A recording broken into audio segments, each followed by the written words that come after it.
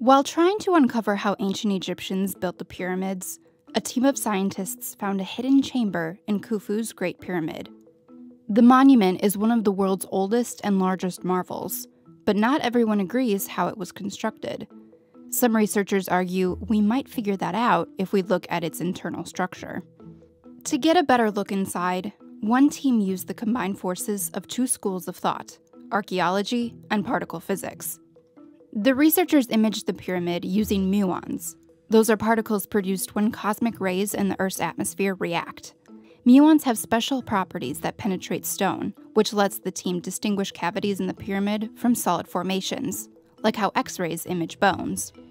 This interdisciplinary collaboration let the team discover a previously unknown void in the pyramid, almost 100 feet long, similar to the pyramid's Grand Gallery. The researchers suspect the new chamber might actually be one of several and was hidden on purpose when the pyramid was constructed, but the team can't physically get to the void right now. And some questions remain, like about the chamber's exact structure and how it was used. Further studies may reveal more details about the void and might finally uncover how the Great Pyramid was built.